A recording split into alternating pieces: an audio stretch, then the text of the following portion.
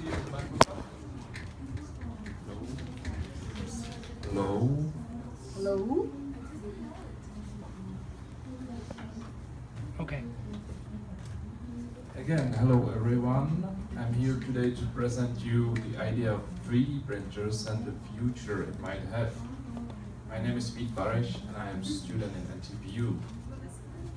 The outline is why 3D printers, what is it, and what will we do with it in the future. So first, why 3D printers? It's a new technology and you have a lot of business opportunities. There are still uh, new ideas evolving every day. Uh, every day somebody has a new idea which material to use, but I will tell you everything later. This is the numbers. 31% growth per year. Uh, by 2020, it should generate 21 billion in worldwide revenue. In 2014, it was only 4.1 billion. So now maybe you have no idea what is 3D printer. So what is it? It's uh, some machine which uses heated plastic material to print objects. Maybe it will be easier to show you on a picture. Yes, it's Vladimir Putin. I just found this picture. Uh, here you can see the 3D printer starts at the bottom and creates layers going up and printing the plastic material heated. You can see that in the middle it's also empty spaces to save the material and time.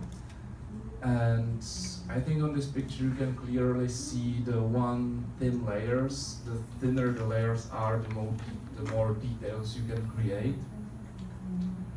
And this is the final uh, object. Here is a practical use of 3D printers where this is a turtle who suffered from a fire in the forest and they decided to make a model of the shell and create it and print it on the 3D printer. And this is the result. You can also like paint the materials after and everything. Uh, another thing about 3D printers is it's you can build yourself, it's open source hardware and it's self-replicated. So you can print a 3D printer on a 3D printer, so it's like an inception. Uh, here you can see those red parts. This is all printed on another 3D printer, on the father of this 3D printer, let's say. The only thing you need to buy are the iron parts, the, the computing units, like CPU or any hardware, and here you can see this is a string of plastic material, which is here melted, and then on the heat bed, it creates the object. Maybe the video will be the best thing how to show you the, how it works.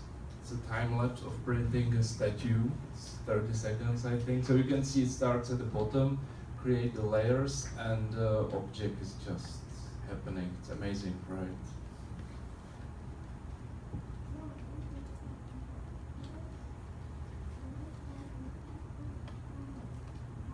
And if you have any questions, just stop me and ask if you have no idea what is going on. How, how does the 3D printer know uh, what to First, print it? first, it's necessary to create a 3D model in a computer, and then through software upload it to the uh, input Where does it save 3D the data?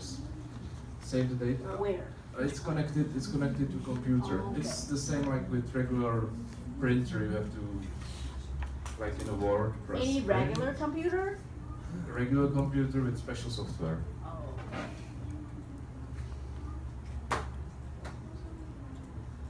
So the future, um, we can do 3D printed limbs. This already works. It's very simple. Uh, you can 3D print houses. If you instead of plastic you use concrete, you just print the walls. In China they printed 10 houses in, in one day, like this. Or you can print organs. Those are yeah, it's kidneys. You will create like the cells and then use the first like uh, cells to create it, and that's all. So in the future you can get 3D printed limb. Yeah. So thank you for the attention. If you have any questions, you can ask me later.